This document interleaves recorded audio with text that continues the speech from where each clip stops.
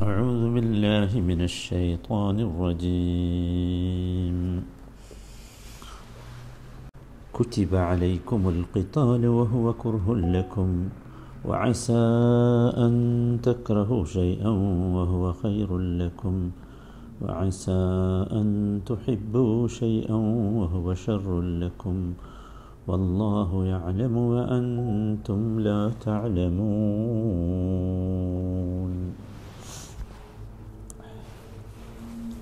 ഇരുന്നൂറ്റി പതിനാറാമത്തെ വചനം നമ്മൾ കഴിഞ്ഞ മൂന്ന് ക്ലാസ്സുകളിലായി വിശദീകരിച്ചു. വളരെ ചെറിയ വചനമാണ്. പക്ഷേ ചില പാഠങ്ങൾ ഈ വചനത്തിൽ നിന്ന് നമ്മൾ പഠിക്കേണ്ടതുണ്ട്. അതുകൂടി പറഞ്ഞ് അടുത്ത വചനത്തിലേക്ക് പോകാം ഇൻഷാല്ല അപ്പോൾ കുച്ചിബ അലൈക്കുമുൽ ഖിതാൽ യുദ്ധം ചെയ്യാൻ നിങ്ങൾക്കിതാ നിർബന്ധ കൽപ്പന നൽകപ്പെട്ടിരിക്കുന്നു. ബഹുവ കുറുഹുല്ലക്കും അതാകട്ടെ നിങ്ങൾക്ക് അനിഷ്ടകരമാകുന്നു. വാശ അൻ തക്രഹു ഷെയ് വഹുവ ഖൈറുല്ലക്കും നിങ്ങൾക്ക് ഗുണകരമായ കാര്യം ചിലപ്പോൾ നിങ്ങൾക്ക് അരോചകമായി തോന്നിയേക്കാം. വാശ അൻ തുഹിബു ഷെയ് വഹുവ ഷറുല്ലക്കും ദോഷകരമായ കാര്യം ചിലപ്പോൾ പ്രിയങ്കരമായും തോന്നിയേക്കാം. വല്ലാഹു അലമു അള്ളാഹു അറിയുന്നു. അന്റും ലാ തഅലമൂൻ. നിങ്ങളോ അറിയുന്നില്ല. ഇതിലെ ഒന്നാമത്തെ പാഠം കുത്തിബ അലൈക്കുമുൽ കിതാൽ എന്നതാണ്. കുത്തിബ നിർബന്ധമാക്കപ്പെട്ടിരിക്കുന്നു എന്നതാണ്. യുദ്ധം അല്ലെങ്കിൽ ജിഹാദ് അത് നിർബന്ധമാക്കപ്പെട്ടു. ഹിജറ രണ്ടാം വർഷം മുതൽ. അതിന് നമ്മൾ വിശദീകരിച്ചാൽ എന്താണ് ഇതിന്റെ കാരണങ്ങൾ എന്നൊക്കെ. പക്ഷേ ഈ ഖിത്താലിന്റെ അല്ലെങ്കിൽ ജിഹാദിന്റെ നിർബന്ധം എന്ന് പറയുന്നത് സ്വാഭാവികമാണ് ഉപാധിയുടെ അടിസ്ഥാനത്തിലാണ്. അത് നമ്മൾ മനസ്സിലാക്കേണ്ട വളരെ പ്രധാനപ്പെട്ട ഒരു പാഠമാണ്. ഒന്നാമത്തെ ഇതിന് നിർബന്ധം എന്ന് പറഞ്ഞാൽ തന്നെ രണ്ട് തരം നിർബന്ധങ്ങളുണ്ട് ഇസ്ലാം.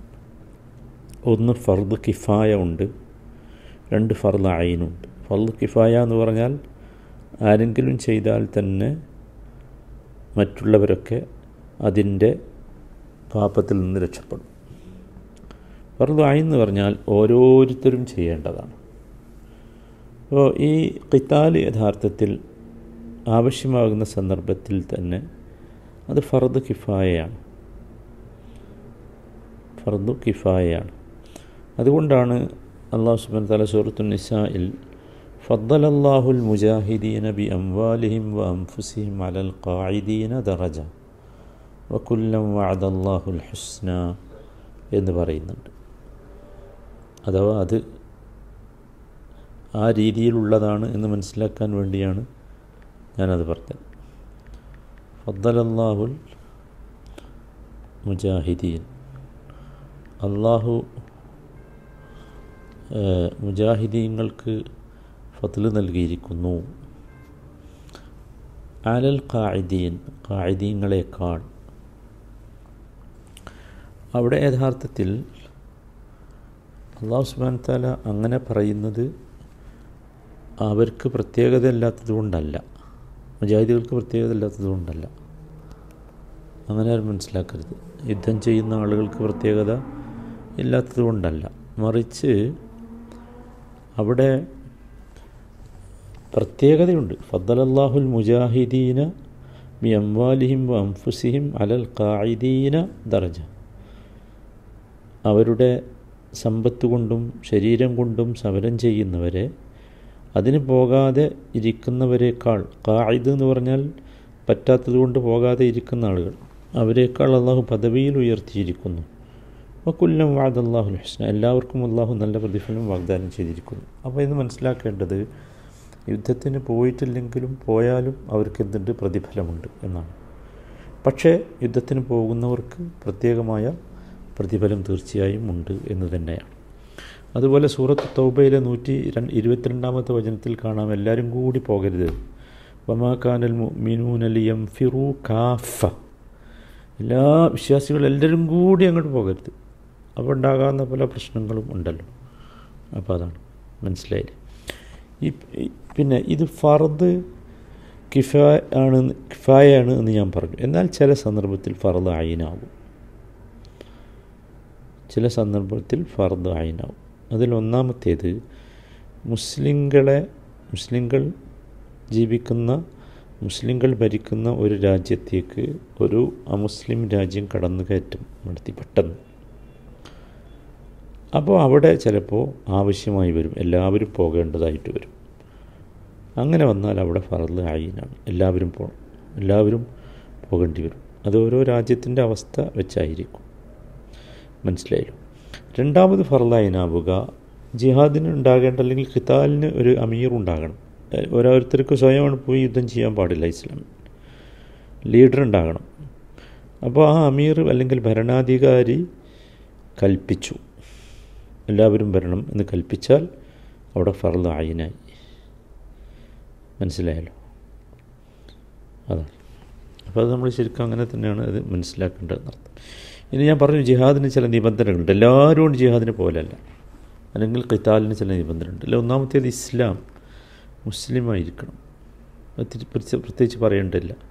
രണ്ടാമത്തേത് അക്കൽ ബുദ്ധിയുള്ള ആളായിരിക്കണം. ബുദ്ധിയില്ലാത്തവന് മൂന്നാമത്തേത് ബുലൂഗ് പ്രായപൂർത്തിയായിരിക്കണം. നബ്സുല്ലാസ്ലമയുടെ അടുത്ത് ഒരുപാട് ആളുകൾ വന്നിരുന്നു പ്രായപൂർത്തിയാകാതെ പക്ഷെ നബി സമ്മതിച്ചിട്ടില്ല. നാല് അത് ഖുറാനായിരിക്കണം ആണിനാണ് ജിഹാദ് നിർബന്ധമുള്ളത്. ആയിഷ റദ്ദി അള്ളാഹുന നബിയോട് ചോദിക്കുന്നുണ്ട് ഹൽ അലൻ നിസ ഇ ജിഹാദ്? സ്ത്രീകൾക്ക് ജിഹാദ് ഉണ്ടോ?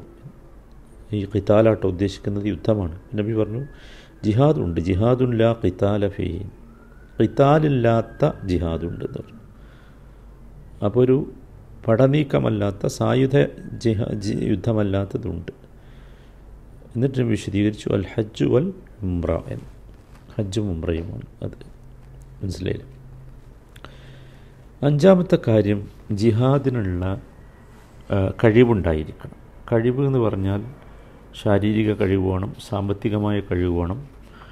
അവർ ഈ ഖിതാലിനോ അല്ലെങ്കിൽ ജിഹാദിനോ പോകുന്ന സമയത്ത് കുടുംബത്തിനുള്ള കാര്യങ്ങൾ വീട്ടിൽ ഉള്ള ആവശ്യങ്ങളുണ്ടല്ലോ അതുള്ള ആളായിരിക്കണം. ഇതൊക്കെ വളരെ നിർബന്ധമാണ്. മറ്റൊരു നിബന്ധന എന്ന് ചോദിച്ചാൽ ശാരീരികമായി എന്തെങ്കിലും ന്യൂനതകൾ വൈകല്യമുള്ള ആളുകളാകാൻ പാടില്ല. അവർക്ക് ഈ ജിഹാദ് ഇല്ല. മനസ്സിലായി? ഇതൊക്കെ നബി സല്ലാ അലിസ്ലം പ്രത്യേകമായി നിബന്ധനയായി നമുക്ക് നിശ്ചയിച്ച് തന്നതാണ്. ഏറ്റവും പ്രധാനമായ നിബന്ധനയാണ് ഞാൻ ആദ്യം പറഞ്ഞതുപോലെ ഓരോരുത്തർക്ക് സ്വയം ജിഹാദ് ചെയ്യാനുള്ള അല്ലെങ്കിൽ കിത്താലിന് പോകാനുള്ള അവകാശമില്ല. മറിച്ച് ഒരു ഇമാം ഉണ്ടായിരിക്കണം നേതൃത്വം ഉണ്ടായിരിക്കണം. ഷറായിയായ നേതൃത്വം. ഇതാണ് ഒന്നാമത്തെ പാഠം.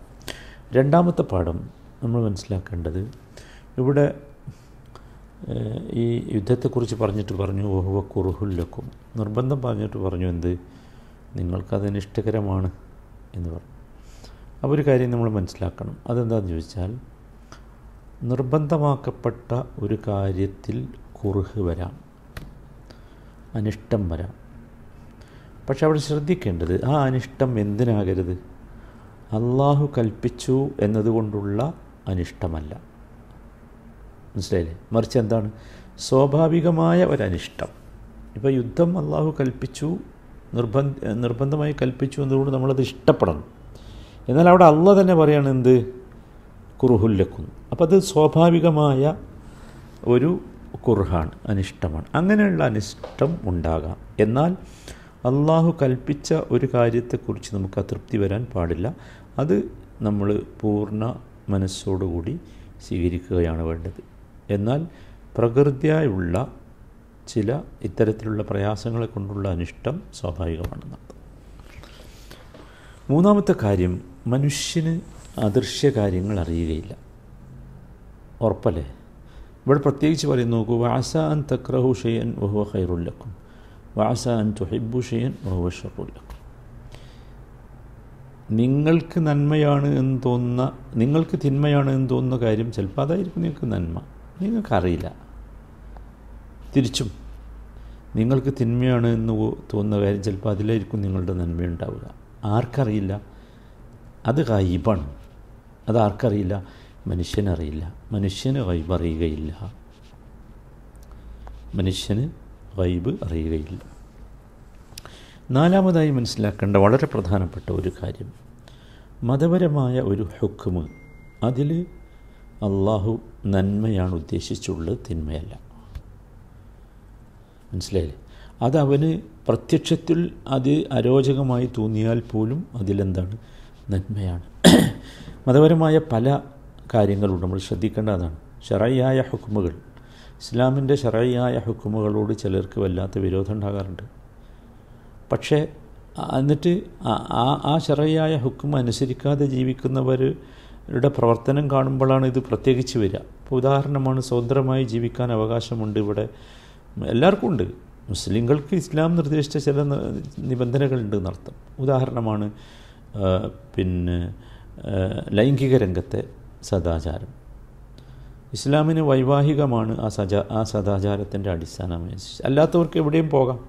അപ്പോൾ അത് കാണുമ്പോൾ ഒന്നും ഉണ്ടാകാൻ പാടില്ല നമുക്ക്. നമുക്ക് നമ്മൾ മനസ്സിലാക്കേണ്ടത് വിവാഹബന്ധത്തിലൂടെയുള്ള ലൈംഗികതയാണ് എന്ത്? നല്ലത്. മറ്റേത് നല്ലതല്ല. എന്തുകൊണ്ട്? ഷറാഴ് അങ്ങനെ പറയുന്നു. അതാണ്. എല്ലാം ഷറാഴ് പറയുന്ന അങ്ങനെ എല്ലാം അങ്ങനെയാണ്. ചില കാര്യങ്ങൾ കുടിക്കരുത് ചില കാര്യങ്ങൾ തിന്നരുത് എന്ന് പറഞ്ഞു.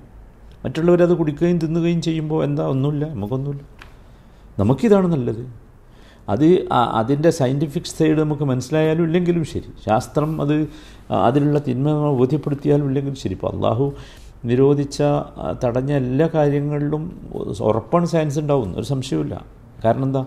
എല്ലാ നല്ലതും അള്ളാഹു എന്താക്കിയിട്ടുണ്ട്? നമുക്ക് ഹലാലാക്കിയിട്ടുണ്ട്. എല്ലാ ചീത്തയും എന്താക്കി? ഹറാമാക്കി. ഉൽ ഇന്നമ ഹറാമ റബ്ബിയൽ ഫവാഹിഷ്. ചീത്ത മാത്രമേ ഹറാമാക്കിയിട്ടുള്ളൂ. പ്രത്യേകിച്ച് നമ്മൾ മനസ്സിലാക്കുക. അഞ്ചാമത്തെ കാര്യം അള്ളാഹുവിന്റെ ഇൽമാണ്. വല്ലാഹു അലമു എന്ന് പറഞ്ഞു അള്ളാഹുവിനറിയാം. എന്തറിയാം? എല്ലാം അറിയാം. എന്ത് എന്നുള്ളത് ഇവിടെ പറഞ്ഞിട്ടില്ല. മഫ്ഊലിനെ ഹദഫ് ചെയ്ത കളഞ്ഞക്ക. അറബി ഭാഷയുടെ നിയമം അനുസരിച്ച് മഫ്ഊലിനെ ഹദഫ് ചെയ്താൽ മഫ്ഊലിനെ പറയാതിരുന്നാൽ യുഫീദുൽ ഉമൂം എന്നാണ്. പൊതുവായ എല്ലാം എല്ലാം അറിയും. വല്ലാഹു ആലം അള്ളാഹ്ക്ക് അറിയാത്തൊന്നുമില്ല. ഒരുപാട് സ്ഥലങ്ങളിൽ ഖുർആാനിൽ തന്നെ ഇങ്ങനെ മഫൂളിനെ ഹെൽഫ് ചെയ്തുകൊണ്ട് വന്നിട്ടുണ്ട്. ആ മഫൂളിനെ ഹെൽഫ് ചെയ്ത് വന്നതൊക്കെ എന്തിനാണെന്ന് ചോദിച്ചാൽ ഈ ഒരു കാര്യത്തിന് വേണ്ടിയാണ് അമൂമിന് വേണ്ടി. അള്ളാഹുവിനറിയാത്ത ഒന്നുമില്ല. വല്ലാഹു യാലം. ആറാമത്തെ കാര്യം മനുഷ്യന്റെ ദുർബലതയാണ്. ദോഫുൽ ഇൻസാൻ. അതെന്താ? അത് മനുഷ്യൻ അടിസ്ഥാനപരമായി ആരാണ്? ഇൽമില്ലാത്തവനാണ്. വ അൻതും ലാ താലമോ മനുഷ്യന്റെ അടിസ്ഥാനം ഇൽമല്ല. അതുകൊണ്ടാണ് സൂറത്തു നഹ്ലിൽ അള്ളാഹു അത് ഒന്നുകൂടി വിശദീകരിക്കുന്നുണ്ട്. മനുഷ്യന്റെ എന്താണ്? ജന്മവുമായി ബന്ധപ്പെട്ട് പറയുന്നിടത്ത് പറയുന്നുണ്ട് വല്ലാഹു അഹ്റജക്കും മിൻ ബുത്തൂനി ഉമ്മഹാത്തിക്കും ലാ തഅലമൂന ഷെയ് ആ നഹ്ലിലെ എഴുപത്തിയെട്ടാമത്തെ വചനമാണ് വല്ലാഹു അഹ്റജക്കും മിൻ ബുത്തൂനി ഉമ്മഹാത്തിക്കും. നിങ്ങളുടെ മാതാക്കളുടെ ഉദരങ്ങളിൽ നിന്ന് നിങ്ങളെ അവൻ പുറത്തു കൊണ്ടുവന്നു. എങ്ങനെയല്ല? താലമൂന ഷെയ് ആ ആ അവസ്ഥയിലാണ്. ലാ താലമൂന ആ യാതൊന്നും അറിഞ്ഞുകൂടാത്ത അവസ്ഥയിൽ. മനുഷ്യന്റെ ബേസ് അതാണ്. പിന്നീട് വജാലലക്കും ഉസ്സം അവൽ അബ്സാറ വൽ അഫിദ ലഅല്ലക്കും എ തഷ്കുറു. നിങ്ങൾക്ക് അവൻ കേൾവിയും കാഴ്ചകളും ഹൃദയങ്ങളും നൽകി. എന്തിനു നന്ദിയുള്ളവരാകാൻ വേണ്ടി. അപ്പം മനുഷ്യന്റെ അടിസ്ഥാനം അതാണ്. മനസ്സിലായില്ലേ? സൂറത്തു നിസായിൽ പറയുന്നുണ്ട് വാല്ലമ കമാലം തെക്കുൻ താലം അറിയൂല എന്നാണ് ഇതിന്റെ അർത്ഥം. അറിയാത്തത് അവൻ നിന്നെ പഠിപ്പിച്ചു. അപ്പോൾ നമ്മൾ മനസ്സിലാക്കേണ്ടത് അടിസ്ഥാനം എന്താണ്? അതുമുൽ ഇൽമാണ്. അൻതുമില്ലാ താലമൂൻ എന്നാണ്. മനസ്സിലായി നമ്മൾ ജനിച്ചതൊക്കെ എന്താണ്? ഇൽമില്ലാതെയാണ്. നമുക്കെല്ലാവർക്കും അറിയാലോ? ഒരു വിജ്ഞാനവുമില്ല. പിന്നീട് സ്കൂളും വിദ്യാഭ്യാസവും കോളേജും ഗവേഷണമൊക്കെ ആയി നമ്മളാരായി? വലിയ ആളുകളായി. അടിസ്ഥാനം അങ്ങനെയാണ്. ഈ ആറ് കാര്യങ്ങൾ നമ്മൾ ശരിക്ക് ഈ വചനത്തിൽ നിന്ന് മനസ്സിലാക്കേണ്ട വളരെ സുപ്രധാനമായ കാര്യങ്ങളാണ്. അള്ളാഹു മനസ്സിലാക്കാനും ഉൾക്കൊള്ളാനും തോഫിക്ക് നൽകട്ടെ.